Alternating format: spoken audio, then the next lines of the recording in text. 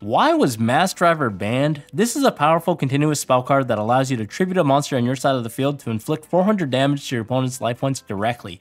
This is obviously not once per turn, so it was heavily abused in what was called the Frog FTK deck, a deck that relied on frogs being sent to your entire graveyard and then made use of Ronin Toad in resurrecting itself to be constantly tributed for Mass Driver until you burned your opponent's life points to zero.